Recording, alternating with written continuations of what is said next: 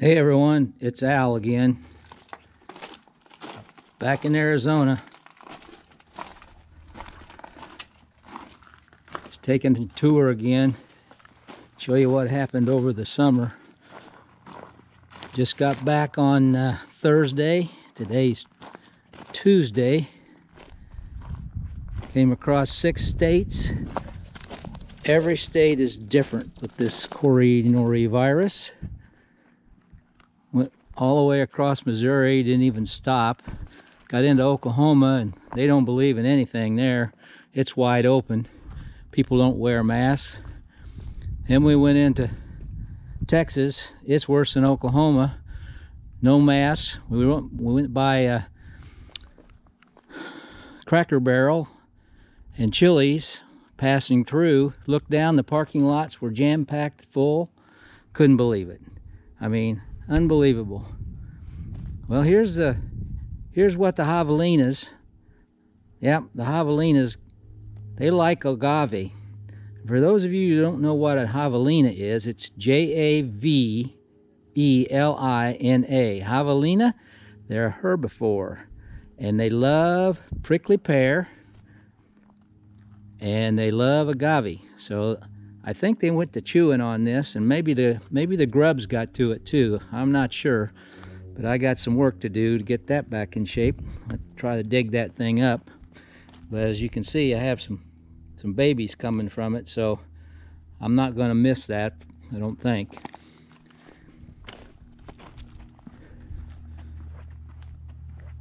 A lot of a lot of trimming to do. My butterfly bush is practically out of control. This bush here needs a haircut.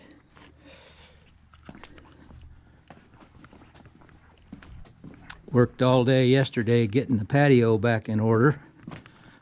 Couldn't believe how many leaves have fallen off that tree. Or these couple trees, I guess.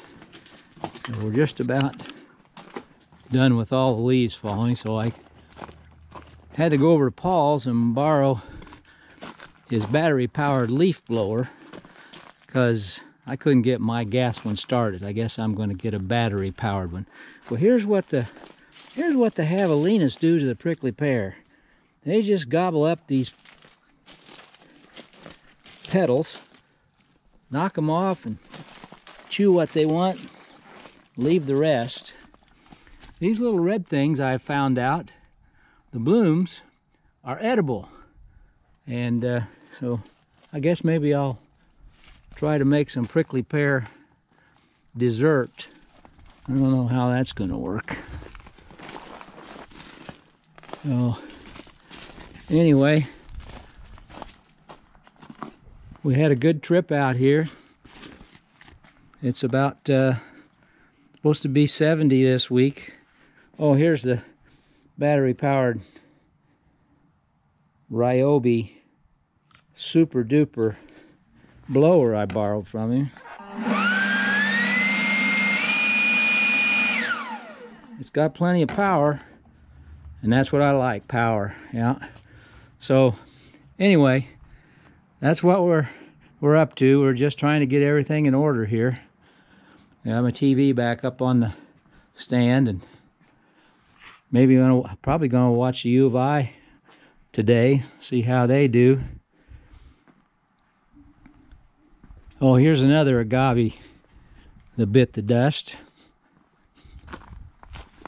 As you can see, it looks like it's uh, seen its better days. So that, that thing has to be chopped out of there. I don't know what I'll put back. But anyway, I've got my work cut out for me for the next week or so. I uh, we're going to lay low here for a week or so, just in case people think we might be infected. So we're not going to do anything. But Arizona is one of the worst states right now. It's wide open again. I don't know. I think they've got the restricted capacity in the restaurants, but you can eat in you can uh, do whatever you want. I mean, you don't have, there's no restrictions. I did see yesterday when we went downtown, uh, everybody was wearing a mask, which is good. Uh, but it looked like Christmas holidays down there. I've never seen so many cars in the parking lot at Target and Lowe's and Home Depot. It was so crowded we couldn't even hardly find parking places. So maybe that's why it's so bad here in Arizona. People people are just going every which way thinking, well, I'm tired of this. So I'm just going to go out anyway. Well, I hope I hope this gets over. I hope I'm going to get we're going to get our vaccines here before long, and uh, maybe we can get through this. So I am here, and I am the gardener, Alfonso, the gardener. So that's all for now.